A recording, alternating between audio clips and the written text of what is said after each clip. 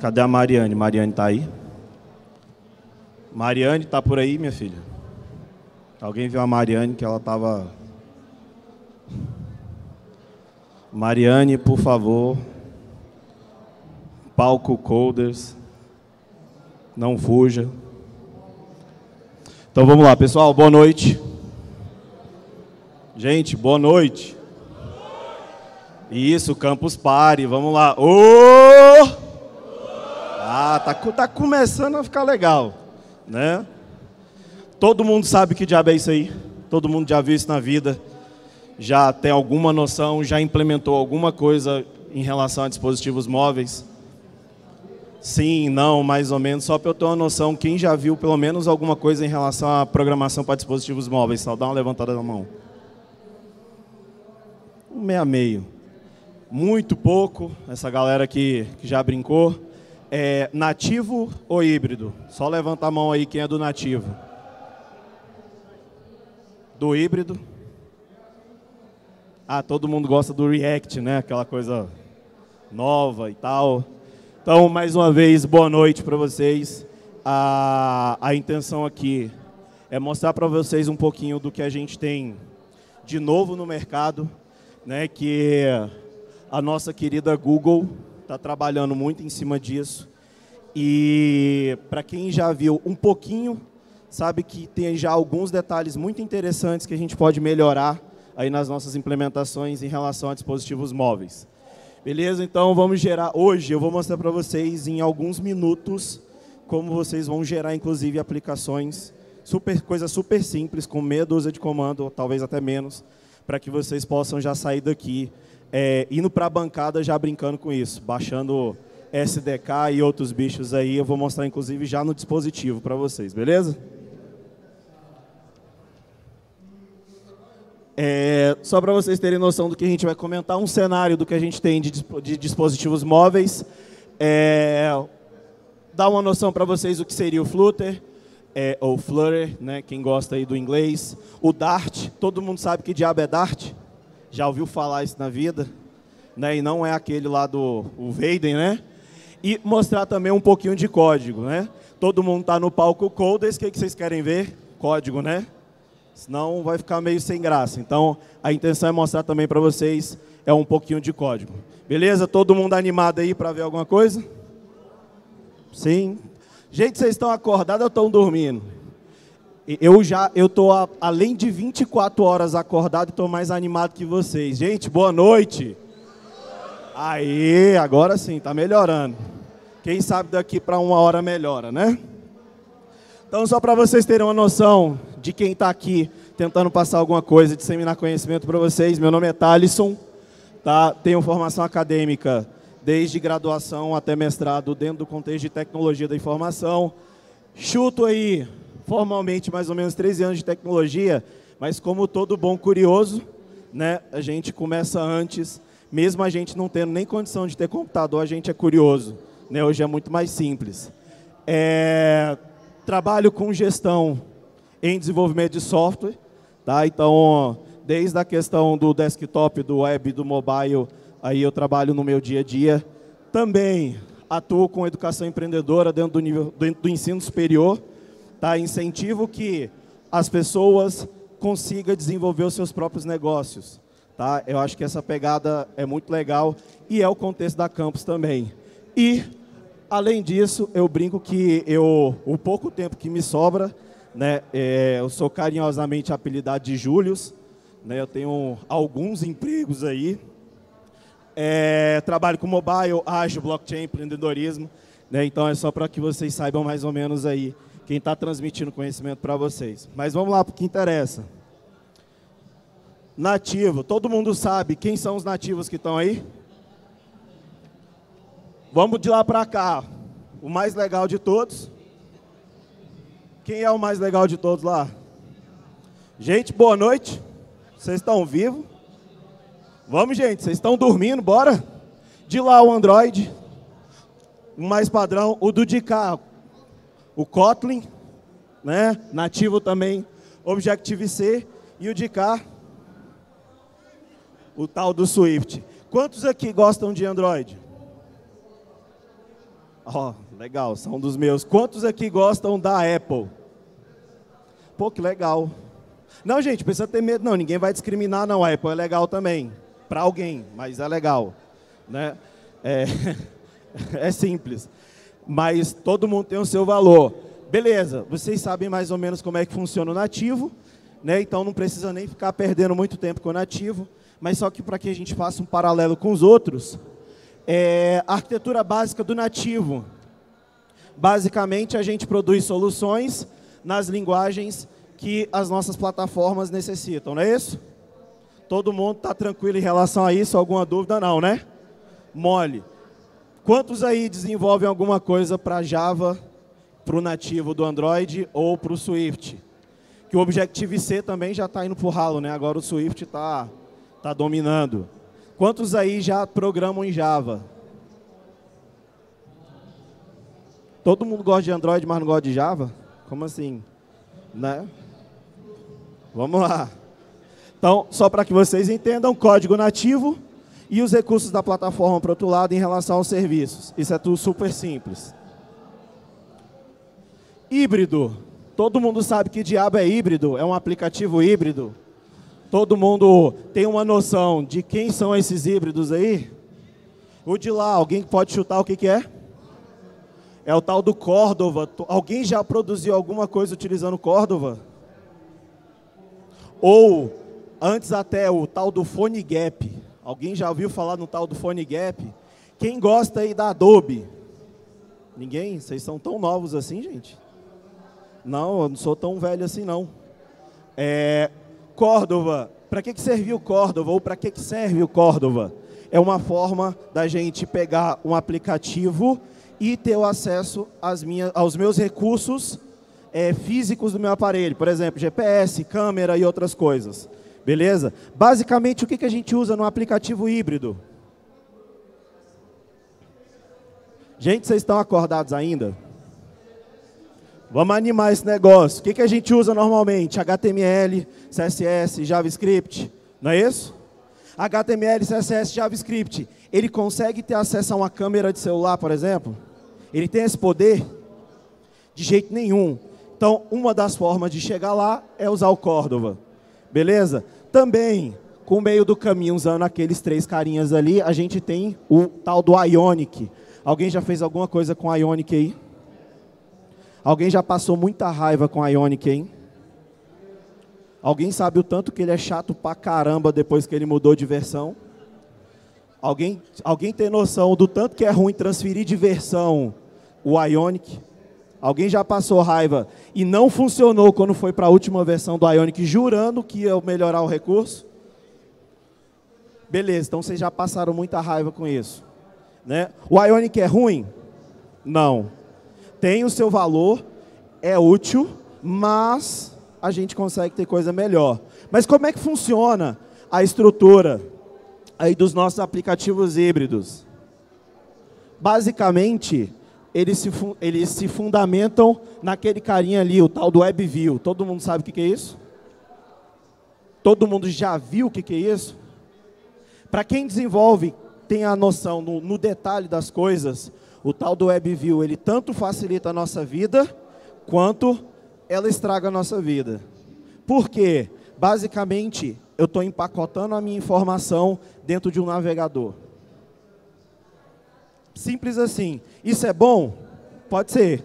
Eu saio do outro lado muito mais rápido. O que, que é melhor? Vocês aprenderem Java e Swift, ou eu ir para o Ionic e soltar para Android e iOS? Claro que eu vou para o híbrido, né? Se eu tiver que fazer, vamos supor, vocês têm um cliente que quer que vocês resolvam isso daqui dois dias. Vocês, é, é, mais, é mais interessante para vocês aprenderem duas linguagens, uma por noite, ou eu aprender uma e soltar para dois, dois, duas plataformas. Se eu tiver que fazer para ontem, por isso que o híbrido ele é interessante. Beleza? Qual que é o detalhe? Eu ainda tenho aquelas nuances, aqueles problemas o que? Eu preciso ter o SDK do Android. Todo mundo sabe o que é o SDK? Sim? Não? Mais ou menos? Basicamente, o conjunto, de forma bem grosseira, o conjunto de bibliotecas que vão fazer sentido para aquela plataforma. E, Por que, que todo mundo gosta de Apple? Quantos aqui tem um MacBook, um iMac, um Mac alguma coisa? Pô, aqui todo mundo não, não é fã, não? Ou é falta de grana, tipo eu, assim? Né?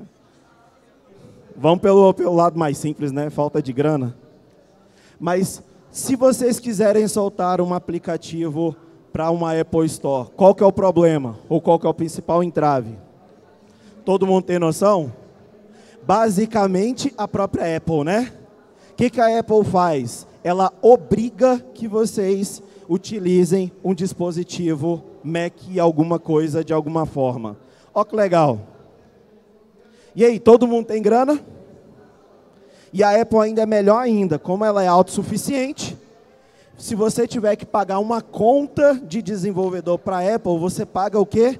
Por ano. Ó que legal. O Android, a Google, né? Você paga uma vez na vida e morreu. Imagina você pagar por ano por dólar. Você já não tem muito dinheiro. E você está produzindo as suas aplicações. Você precisa ter a Apple junto com você e ainda precisa pagar em dólar por ano. É legal desenvolver para Apple? Claro que é. Não, gente, claro que é. O problema é só a grana, né? Todo mundo tem grana? Então a gente sempre vai para o lado grátis, né? Paciência. Infelizmente é assim que funciona a vida. Então a gente tem, ainda que eu utilize o híbrido, eu tenho que ter essa preocupação. Tá, mas pensando, Thales, como é que eu resolvo esse problema? Tem um pessoal criativo na internet. Internet, já, já escutaram aquela frase, né? O melhor do Brasil é o brasileiro, não é isso? O que, que o brasileiro começou a imaginar?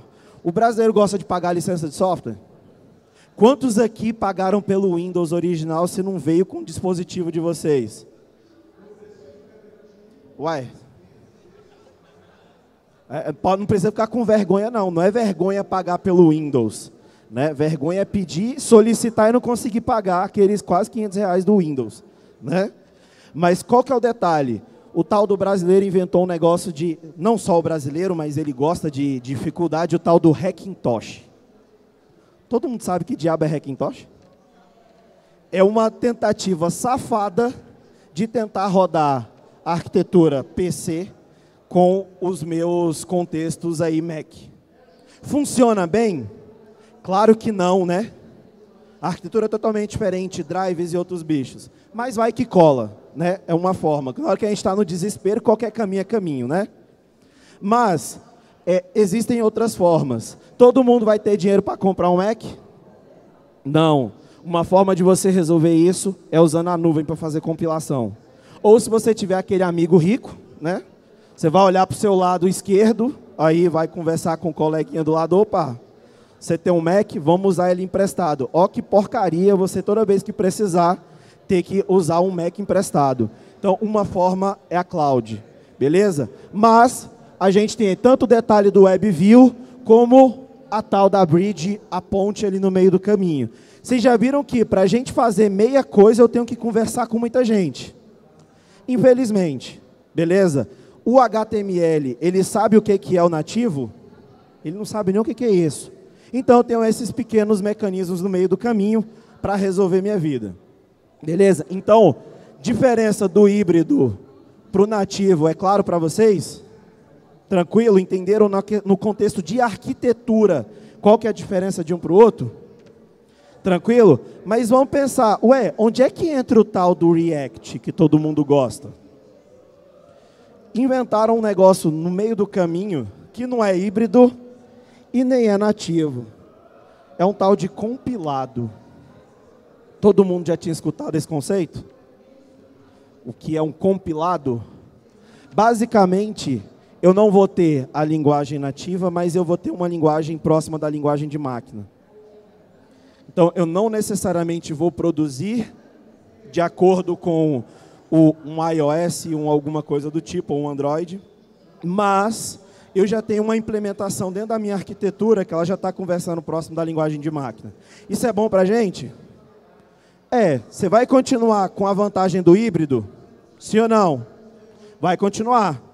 Eu vou continuar usando apenas uma linguagem, não vou? Todo mundo corre para o híbrido, por quê? Vocês têm tempo para ficar aprendendo várias linguagens? Alguém aqui já usou alguma coisa vinculada ao Windows Phone? Vamos ver se alguém foi artista. Sei lá, né? É, a gente não pode discriminar. Aí tem três pessoas, né? Funciona, né? Linguagem boa que paga as contas, né? Mas quantos dispositivos saem com Windows hoje? Beleza. Imagina que no auge do Windows Phone a gente tinha que aprender C Sharp, Java e Objective-C, agora Swift. Vocês têm tempo para aprender tudo isso? Aliás, quantas linguagens vocês conseguem hoje dizer assim, ah, eu, eu saio do outro lado se eu tiver que produzir uma solução? Uma, duas, três? Quantas pessoas programam de forma pelo menos razoável, pelo menos em duas linguagens? A gente tem o quê? Uns 20%? Então, imagina se vocês têm que ganhar dinheiro, não sabe programar em três linguagens e vão ter que se virar em três linguagens. O que, que a gente faz? Corre para o híbrido. Beleza? O compilado, ele vai continuar com essa mesma vantagem. Eu vou continuar com a única linguagem. O que vai mudar é exatamente a forma que a gente trata. Ah, mas então o React e o Flutter são as mesmas coisas? Não. Olha como é que funciona a arquitetura aqui. Tem alguma diferença? Vamos voltar aqui. Olha o que, é que eu tenho do híbrido. Observa o lado direito de vocês. O que, que eu tenho que repete? Os meus eventos, canvas, os meus serviços. Quando eu vou para o compilado, eu trato dessa forma. Cadê a tal da WebView? Opa, então eu não uso mais uma ideia de empacotamento do meu, do meu navegador? Beleza, então já é uma vantagem. É, vamos ver a idade da galera. Quantos já fizeram alguma coisa para o Internet Explorer 5, 6? Quantos já passaram raiva com isso? É, a galera tá com medinho de falar que é velha, né? Não vamos ter medinho. Por quê? Por que eu estou perguntando isso? Quem já desenvolveu para a web só para resolver problema do Internet Explorer, do 5 ao 7, todo mundo tem a noção da dor de cabeça que é? Você tem uma implementação para o 5, você tem uma implementação para o 6 e uma implementação para o 7. Pô, mas é o mesmo navegador. Sim, mas a Microsoft, ela gosta de reinventar a roda, né? Ela gosta de facilitar a vida do desenvolvedor. Então a gente tinha que ter três implementações quando a gente queria ter o que a gente chamava de cross-browser, né, que funcionava na maioria dos navegadores. Então, opa, se eu já não tenho a ideia do navegador, já facilita a minha vida, não facilita? Qual que outro detalhe que mudou ali? A tal da bridge, a tal da ponte. Então quer dizer, eu tenho menos gente para conversar no meio do caminho? Isso eu tenho uma performance? Não tenho? Beleza. Essa arquitetura é a do Flutter. Ah, ué, mas então como é que é a arquitetura do React? Ó que legal. O React ainda tem a ponte no meio do caminho ali embaixo. O Flutter ele pegou as minhas interações e conseguiu otimizá-las junto ao lado da minha aplicação ali e vai otimizar a questão inclusive de renderização da minha aplicação. Então, se vocês é, é, botarem duas aplicações, uma com React e outra com Flutter, fatalmente no mesmo dispositivo, o Flutter ele vai inclusive carregar mais rápido. Ele vai ter menos locais para passar. É claro isso para vocês?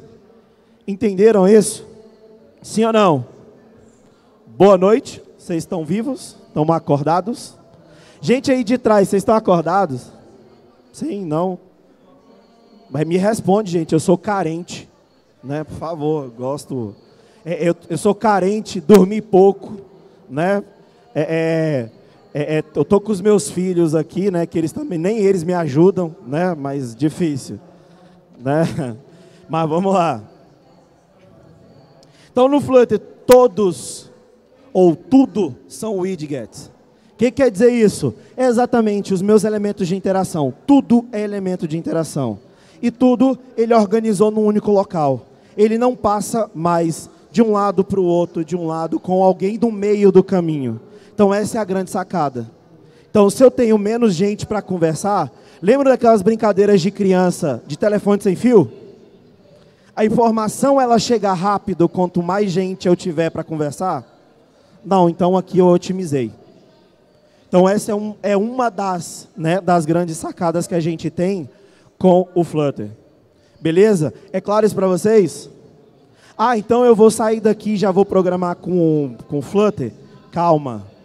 Não é bem assim que funciona a vida. Quantos aqui de fato ou de, de profissão são tecnologia, independente de formação? Quantos atuam com tecnologia? Grande maioria. Quem atua aqui como negócio? Ninguém? Gente, isso é complicado. Por quê? Quantos aqui gostam de forçar o cliente para resolver para a sua linguagem de preferência? Vamos falar a verdade, não precisa ficar com vergonha não. Quantos? Ah, se, quantos aqui programam em Java? PHP, .NET. Agora o Node JavaScript. Ó, oh, já está melhorando. Se eu falar que eu, vou, eu quero uma solução para vocês, vocês vão forçar de acordo com a necessidade do cliente ou vocês vão forçar de acordo com a expertise de vocês? É padrão da gente forçar para a nossa expertise. Está correto? É quase que chegar o usuário para você, você é um expert em Java, chegar o usuário, olha, você tem que resolver esse problema com JavaScript. Vocês vão gostar?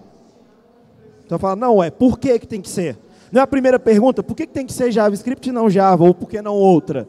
Então é isso que vocês têm que ter em mente. Não, é, não quer dizer que vocês vendo um conteúdo de desse, nesse momento, vocês vão mudar, ah, agora tudo que eu fizer tem que ser dessa situação. Não. Vocês vão primeiro analisar. Por isso que eu perguntei da galera de negócio. O, o cara de tecnologia, ele é muito techniquez, né? Alguém aqui, vamos lá, pesquisa Ibope. Alguém gosta de fazer documentação? Quantos aqui documentam projeto? Pode falar a verdade, não precisa mentir não. Nem aqueles que ficam assim e tal, ninguém vai bater em vocês. Pode ficar tranquilo. Por que disso? A gente gosta de meter a mão na massa. O que, que vocês preferem? Documento do Word ou o código de qualquer linguagem? Claro que é o documento do Word, né? Não? É, de jeito nenhum. Então esse é o problema. A gente tem que analisar a necessidade do nosso cliente. Simples assim. Ah, eu tenho o recurso, agora vocês sabem que o recurso existe? Beleza, vocês vão olhar a necessidade e vão adequar de acordo com o melhor recurso. Ah, se eu não sei o React ou o Flutter, sei o Ionic, eu vou usar Ionic? Beleza, está resolvido. Ah, mas ainda assim eu estou procurando uma melhor performance do acesso aos meus serviços do meu dispositivo, é melhor o Ionic, o Flutter, o React ou o nativo? Então, é essa a, a inquietação que tem que ser dentro da cabeça de vocês. É uma coisa é eu apresentar um protótipo para o meu cliente funcional, outra coisa é ele usar em larga escala. Lembra, é, é, quantos de vocês já não escutaram de qualquer pessoa? Olha, você me ajuda? Eu quero fazer um aplicativo. Quantos? Todo mundo acha que aplicativo é a melhor coisa do mundo agora. Nossa vida se resume a aplicativo. E aí, todos eles vão se resumir com a mesma tecnologia? Não, não necessariamente. Então essa é a ideia que vocês têm que ter na cabeça, tá? Mas qual que é o outro grande detalhe? Assim como todo mundo quer resolver com aplicativo, né? Os problemas do mundo agora se resolvem com os profissionais de TI fazendo aplicativo. Beleza, então tem bastante mercado. Aí vem a pergunta: vale investir? Vale. Ah, mas eu tenho um detalhezinho aí. Quantos aqui gostam de JavaScript? É, até um número razoável. Eu não gosto, beleza? Eu vim uma época do JavaScript que ele era horrível.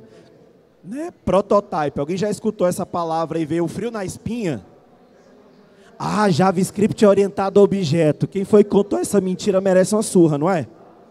Porque não é. ele é adaptado, ele, ele ao longo do tempo melhorou para que fosse. Ele é tão orientado a, a, objeto que inventaram, e olha que quem inventou ninguém acreditou, o tal do TypeScript. Alguém já usou? Adivinha quem inventou? Microsoft. Ó, vocês falam tanto mal da Microsoft, ela fez algo que preste. Por incrível que pareça, ela fez algo que preste. O tal do TypeScript, ele realmente é estruturado de forma orientada a objeto. Ele, é, ele não precisa ser assim, uma hora esse 3, ele é um número, outra hora esse mesmo 3, eu não precisei de fazer nada. Bota um aspas ali, é um string está tudo certo. Aí esse 3 pode ser até um true ou um false, né? JavaScript é bonito desse jeito, né? É bom para aquela hora assim, cruza os dedos, se compilar, passa para o cliente. Quem nunca fez isso? Né? E contou aquela mentira assim, não, na minha máquina funciona. Desenvolvedor gosta dessas mentiras, não é? Eu sou desenvolvedor, tá? Por isso que eu, eu, eu gosto também de mentir desse jeito, que a culpa nunca é nossa, né? Ou ela é nossa e a gente sempre fala para o usuário, reinicia que funciona. Que é o tempo da gente consertar o erro e quando subir está resolvido. Quem nunca fez isso? Né? É nossa vida. Até porque ninguém fala por nós. Quantos defendem profissional de TI no trabalho? Não tem ninguém que vai falar bem de tecnologia. Tô para ver num lugar onde alguém vai falar assim: nossa, tecnologia, o profissional de TI é legal. Quantos elogiam vocês no trabalho de vocês? Vocês já escutaram assim: pô, o serviço de vocês é muito bom. Ou muito obrigado por manter as aplicações que vocês fazem funcionando. Ou muito obrigado para você, por vocês terem tirado todos os gatos da aplicação, que isso não é claro para ninguém, e ela não dá pau. Alguém já chegou para vocês e ajudou nesse nível, deu aquela, aquele apoio moral? Não, infelizmente não. Né? O usuário vai lembrar da gente quando? Olha, o Facebook não está acessando. A internet não está funcionando. Né? O que, que é a internet? O Instagram, Facebook, né? as redes sociais. Aí a internet não funciona. Né? Então, por isso que, que eu brinco com essa questão do profissional. A gente, de vez em quando, dá essas essas pequenas mentiras né, não estava funcionando. Mentira, estava dando pau mesmo. E a gente sabia. Todo mundo tem condição de ter uma infraestrutura onde tem sempre teste, tem sempre reteste, tem ambiente de produção, ambiente de homologação, ambiente de teste.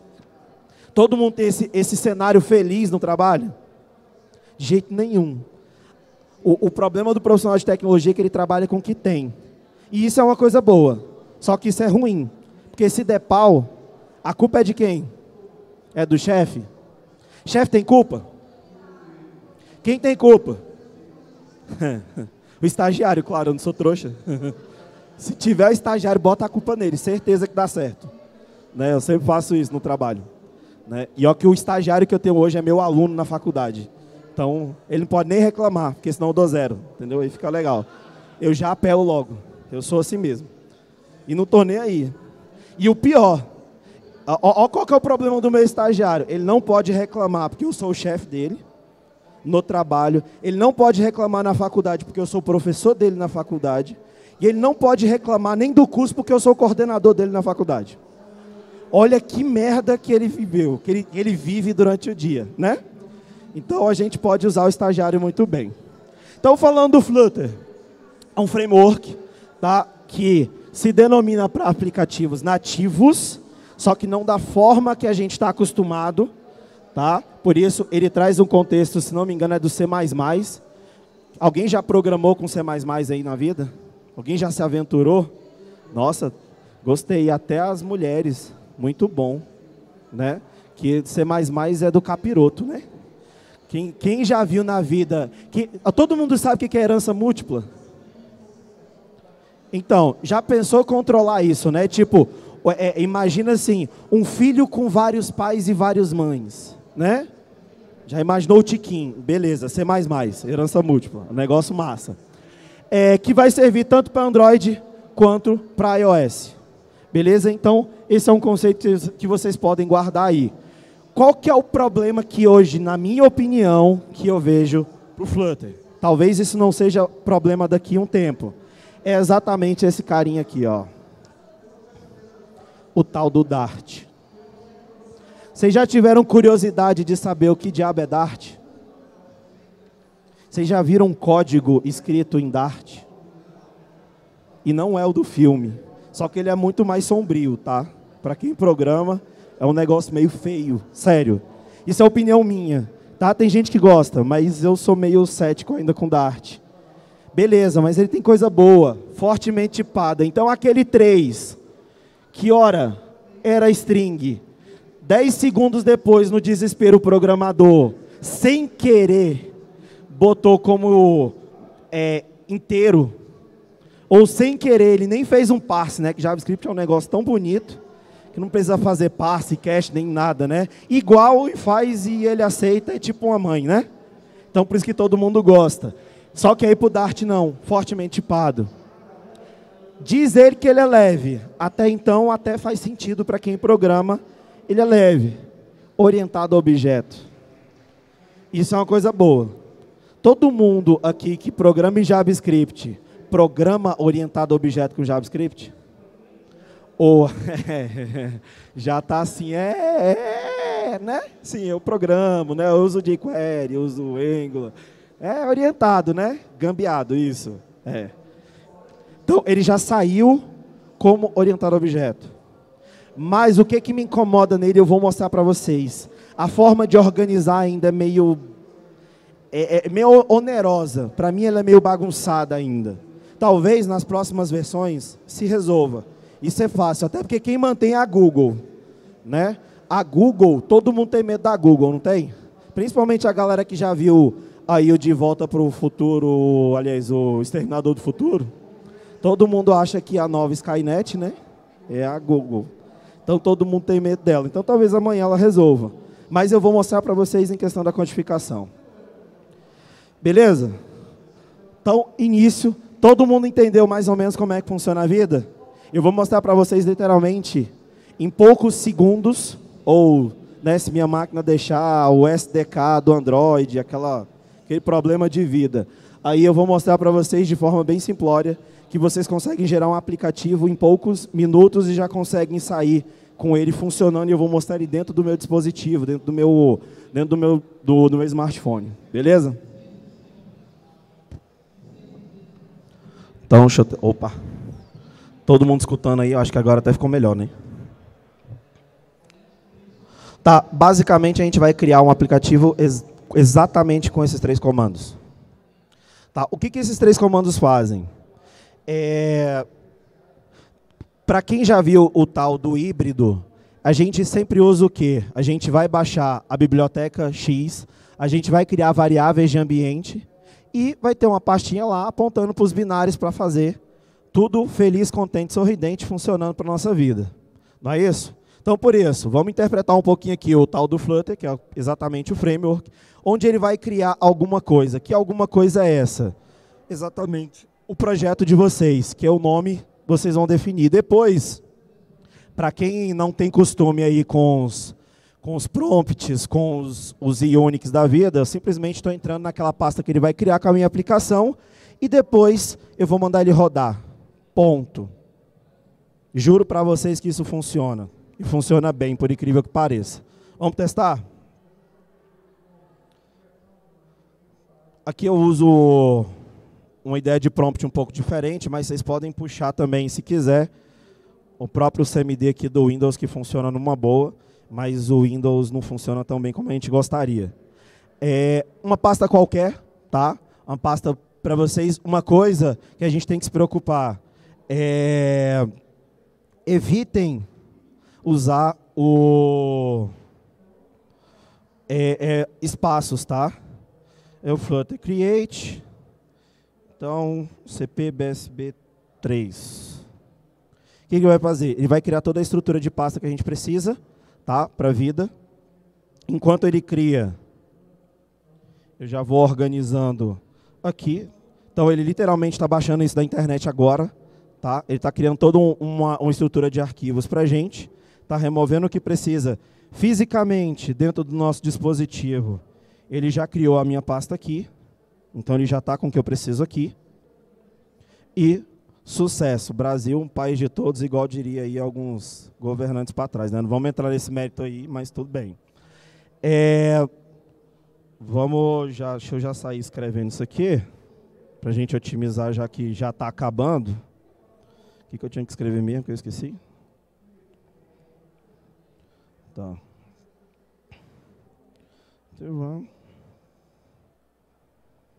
Beleza, CD, CP, BSB e run. Beleza, enquanto ele dá uma demoradinha aqui, o que, que ele está fazendo basicamente? Na minha máquina eu já tenho configurado o SDK do Android, então quem quer utilizar o Android, ele infelizmente ele está vinculado de forma simplória, ele está vinculado ao Android Studio, então vocês vão ter que ter o Android Studio para ter um gerenciamento do SDK. Só que existe como você só ter o SDK, mas só que é muita dor de cabeça. Então, às vezes, é deixa lá o Android Studio que está tudo certo. As minhas variáveis de ambiente com Java, com Gradle, com o pacote para que ele funcione. Com base nisso, simplesmente ele já vai fazer o que precisa dentro do dispositivo aqui, ele já está se resolvendo. E, para que vocês vejam o que eu acabei de falar do, é, do Dart, eu vou inclusive abrir esse código do Dart aqui, para que vocês vejam como é a organização dele. Basicamente, a gente tem um arquivo main que ele gera aqui, bonitinho.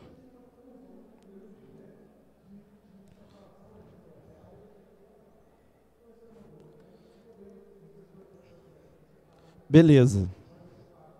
Deixa eu ver. Todo mundo enxergando aí? Então, isso aqui foi o que ele criou de forma bem automática. Legal, altamente comentado. Porém, a forma de estruturar isso ainda não é a melhor coisa do mundo. Mas está aqui, se vocês quiserem alterar qualquer texto que ele vai aparecer, que ele vai fazer alguma coisa, já está aqui para gente.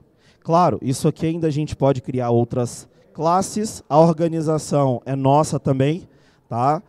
É, eu posso sair criando outras coisas no meio do caminho, mas é pelo menos para que vocês vejam aí a estrutura do que seria o nosso arquivo de Dart. É, deixa eu ver aqui. Tá, demora um pouquinho, mas enquanto ele compila aqui, já para a gente otimizar o nosso tempo, alguém tem alguma pergunta? Quando ele terminar aqui, eu inclusive vou mostrar já no meu celular ele rodando, tá? O aplicativo de teste. Alguém tem alguma pergunta? Alguém tem alguma curiosidade? Alguém tem algum choro? Alguém tem alguma dívida?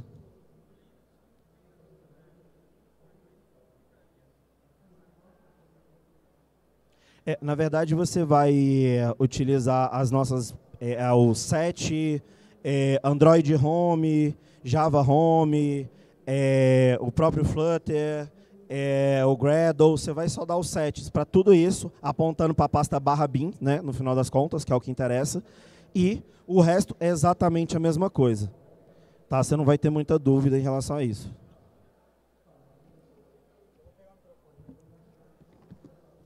É, orient... Como é que é? Não entendi. O Dart é, é orientado a objeto? Exatamente. Ele é orientado a objeto, por isso que aqui ele já me dá a ideia dos class, inclusive da herança. Claro que a gente tem aqui do, do que ele gera automaticamente, ele já está gerando aqui um override, já tem algumas coisas da orientação objeto, mas é, eu sou meio old school em algumas coisas, né? Eu sou da era do vamos aprender Java e a gente tem um negócio muito organizado, então eu não sou tão fã dessas coisas, tipo um monte de class no mesmo lugar. Então talvez segmentar, porque é, enquanto a gente faz algo para a gente é ótimo, mas quando a gente faz o corporativo, eu preciso de uma organização maior. O corporativo é um pouco mais exigente e não necessariamente sou eu que vou dar manutenção. Então, se não sou eu que vou dar manutenção, já é um problema. Então, isso aqui é exatamente o que ele acabou de gerar. Tá? Ele, ele foi ele compilou o que ele precisava, gerou o APK, ele exportou, ele inclusive está dizendo que está no meu dispositivo aqui, ó, o MIA 2, né, e é exatamente o que está rodando no meu celular. Então ele gera uma aplicação aqui de demonstrativo e já está funcionando no meu dispositivo móvel. Beleza? Apenas com os três comandos. Tranquilo?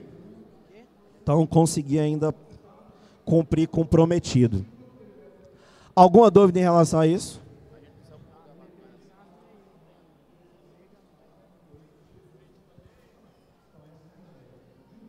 Eu entendi mais o outro do que você. É tipo. É, vamos ver se chega ali para ver se a gente consegue responder.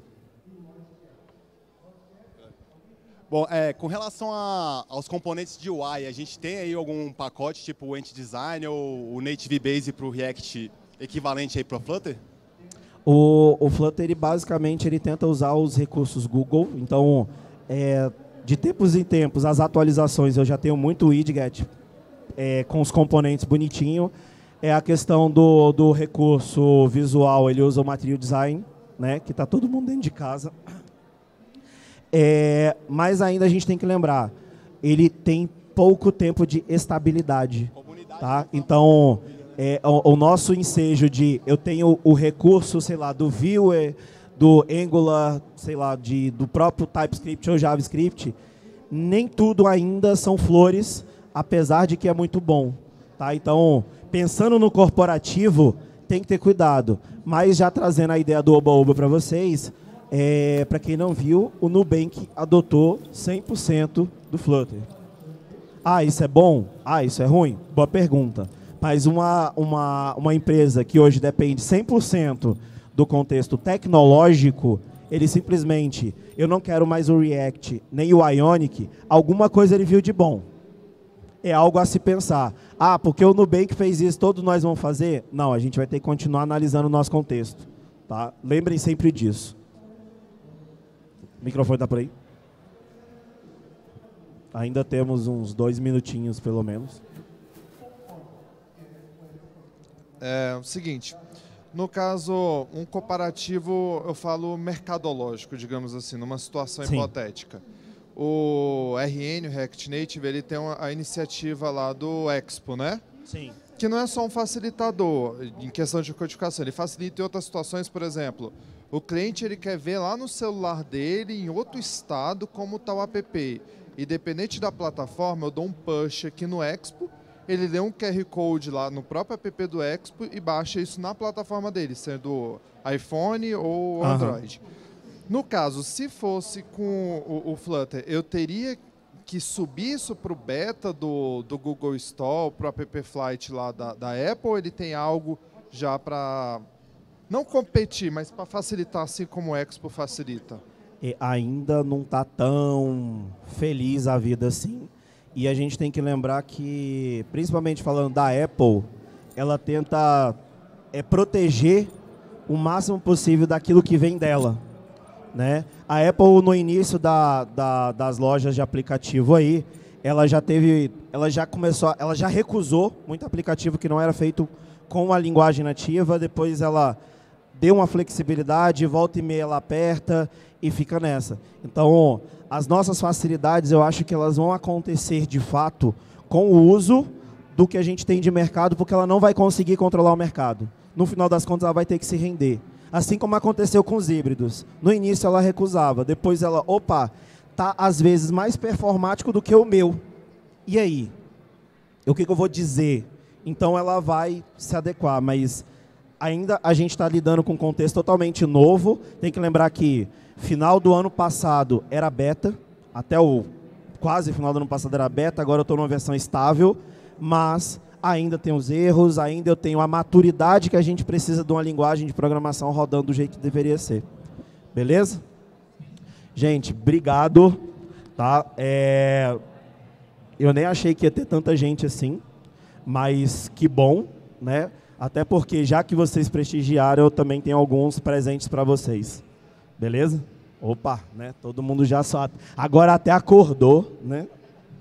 Gente que foi embora rodou, né? Perdeu. Mas vamos fazer um negócio aqui. Tá todo mundo acordado mesmo? Ô! Tá meio fraco, hein? Vamos de novo. Ô!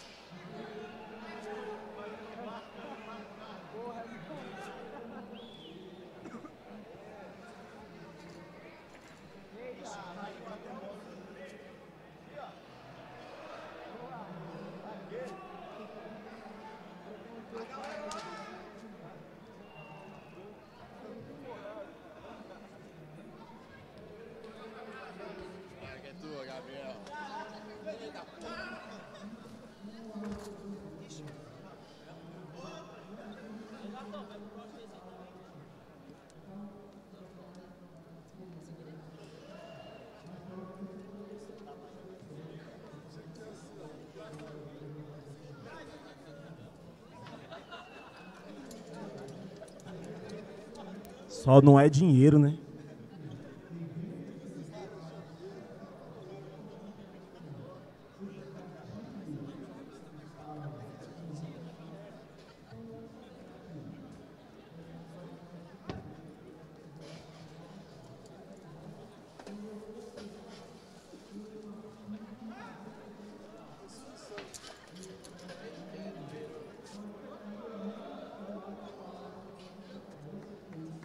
Então, brigadão mais uma vez. Vamos só tirar uma fotinha aqui, gente, só pra gente registrar o, o momento. É claro que a gente vai usar, né, dos nossos projetos. Eu também não sou trouxa, né?